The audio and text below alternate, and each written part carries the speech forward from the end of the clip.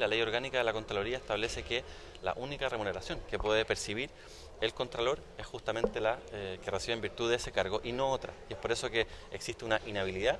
Queremos saber cuál es la opinión del candidato y cuál es la opinión eh, de la moneda respecto a este tema. Existe una inhabilidad, otra vez una desprolijidad. Yo creo que se trata lamentablemente de otro error en un cargo de relevancia absoluta. Creo que la cantidad de tiempo que ha pasado sin Contralor para que presenten... Eh, este Contralor que viene con Domingo 7, porque viene con una situación que nadie conocía o que por lo menos los medios de comunicación no conocían, desde el punto de vista de sus inhabilidades e incompatibilidades, así que creo que este nombre no va a tener los votos necesarios para ser eh, oficializado.